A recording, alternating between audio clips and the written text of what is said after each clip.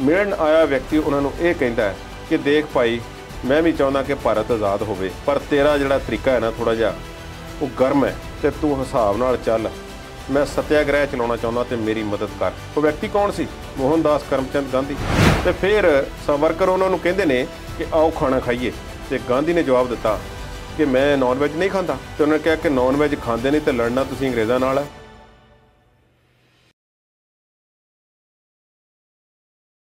ਕੁਲਦੀਪ ਜੀ ਜੇ ਜਾਂਦੇ ਜਾਂਦੇ ਗੱਲ ਵਿਨਾਇਕ ਦਮੋਦਰ ਸਾਵਰਕਰ ਦੀ ਕਰੀਏ ਜਿਨ੍ਹਾਂ ਨੂੰ ਕੁਝ ਲੋਕ ਹੀਰੋ ਕਹਿੰਦੇ ਨੇ ਤੇ ਕੁਝ ਲੋਕ ਕਾਇਰ ਕਹਿੰਦੇ ਨੇ ਉਹਨਾਂ ਦੇ ਮਾਫੀਨਾਮਿਆਂ ਬਾਰੇ ਸਰਕਾਰ ਕੀ ਮੰਨਦੀ ਹੈ?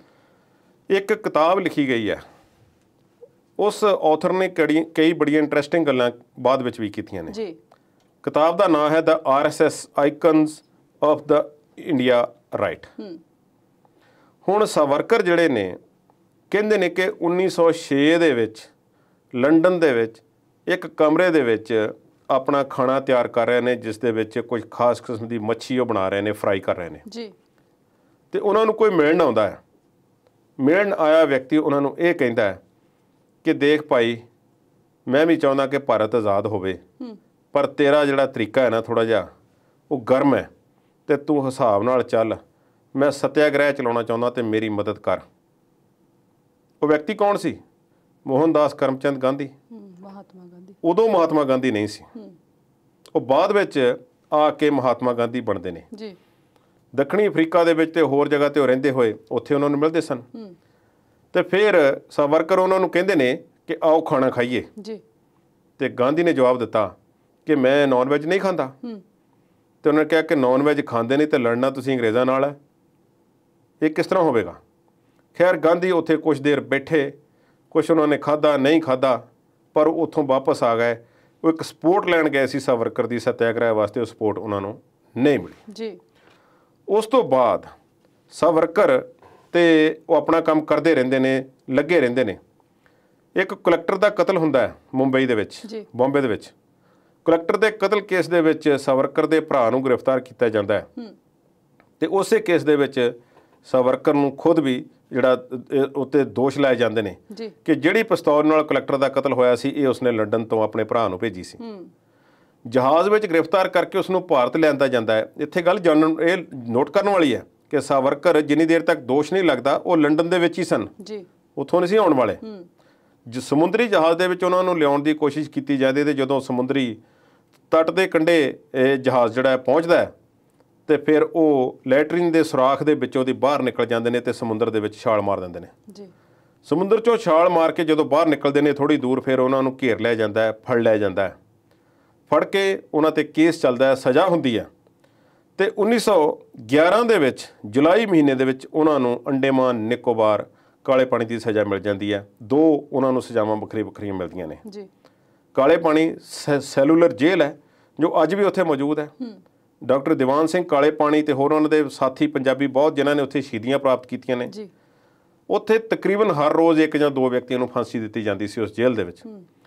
ਬਹੁਤ ਅਣਮਨੁੱਖੀ ਵਿਹਾਰ ਜਿਹੜਾ ਸੀ ਉਹ ਕੀਤਾ ਜਾਂਦਾ ਸੀ। ਅਜੇ ਵੀ ਕੰਧਾਂ ਤੇ ਲੱਗੀਆਂ ਹੋਈਆਂ ਪੱਕੀਆਂ ਕੜੀਆਂ ਜੋ ਉੱਚੀਆਂ ਰੱਖ ਕੇ ਲਾਈਆਂ ਗਈਆਂ ਨੇ ਕੈਦੀਆਂ ਨੂੰ ਉੱਥੇ ਕੜੀ ਲਾ ਦਿੱਤੀ ਜਾਂਦੀ ਸੀ ਤੇ ਉਹ ਲੰਮਕ ਕੇ ਉੱਥੇ ਹੀ ਸੌਂਦੇ ਸੀ।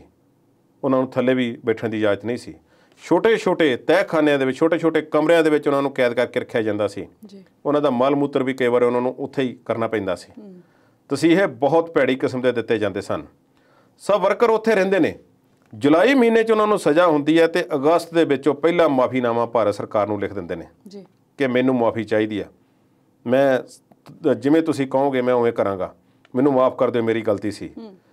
ਉਹ ਅਗਲੇ ਕੁਝ ਸਾਲਾਂ ਤੱਕ ਨਜ਼ਰਬੰਦ ਰਹਿੰਦੇ ਨੇ ਤੇ 20-25 ਸਾਲ ਤੱਕ ਅਗਲੇ ਉਹ ਅੰਗਰੇਜ਼ ਸਰਕਾਰ ਦੇ ਕਿਸੇ ਨਾ ਕਿਸੇ ਰੂਪ ਦੇ ਵਿੱਚ ਕੈਦੀ ਰਹਿੰਦੇ ਨੇ ਕਿਤੇ ਉਹਨਾਂ ਨੂੰ ਥੋੜੀ ਬਹੁਤੀ ਖੁੱਲ ਮਿਲ ਜਾਂਦੀ ਤੇ ਕਿਤੇ ਨਹੀਂ ਮਿਲਦੀ। ਜੀ। ਉਹ ਘੱਟੋ ਘੱਟ ਅਗਲੇ 9 ਸਾਲਾਂ 'ਚ 6 ਲੰਬੇ ਚੌੜੇ ਮੁਆਫੀਨਾਮੇ ਜਿਹੜੇ ਅੰਗਰੇਜ਼ ਸਰਕਾਰ ਨੂੰ ਲਿਖ ਕੇ ਦਿੰਦੇ ਨੇ ਕਿ ਮੈਨੂੰ ਮਾਫ ਕਰ ਦਿਓ।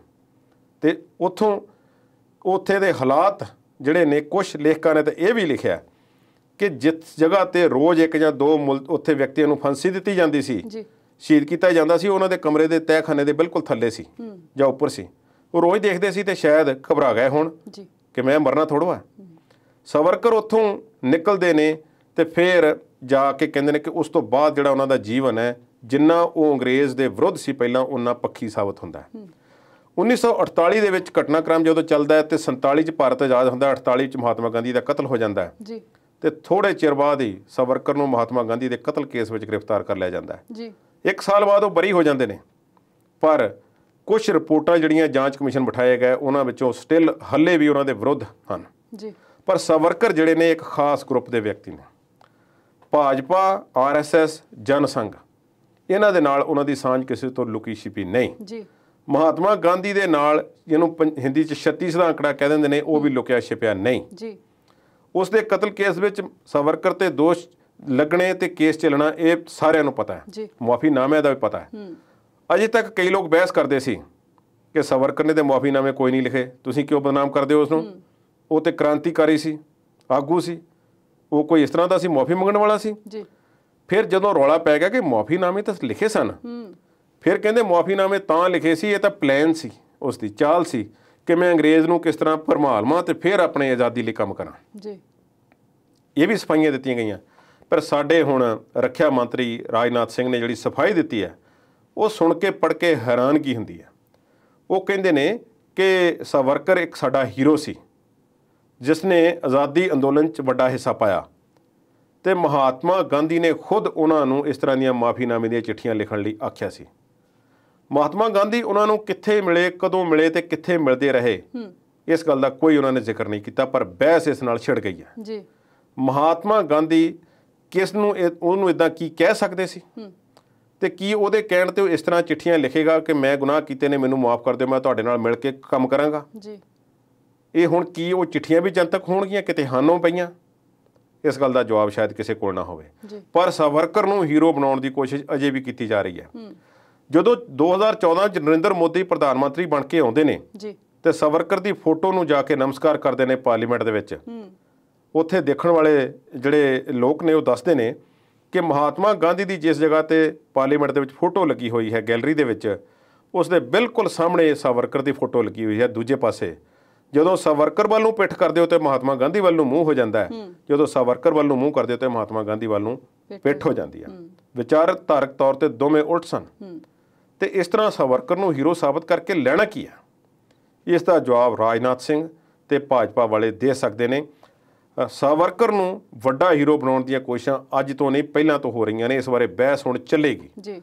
ਵਾਜਪੇਈ ਸਾਹਿਬ ਨੇ ਉਹਨਾਂ ਨੂੰ ਨੋਮੀਨੇਟ ਕਰ ਦਿੱਤਾ ਸੀ ਰਾਸ਼ਟਰਪਤੀ ਨੂੰ ਲਿਖ ਕੇ ਦੇ ਦਿੱਤਾ ਸੀ ਕਿ ਤੁਸੀਂ ਇਸ ਨੂੰ ਭਾਰਤ ਰਤਨ ਦੇ ਦਿਓ।